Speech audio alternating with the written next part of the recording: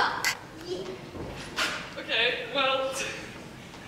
Okay, also, don't you think Eve did a great job on her last solo?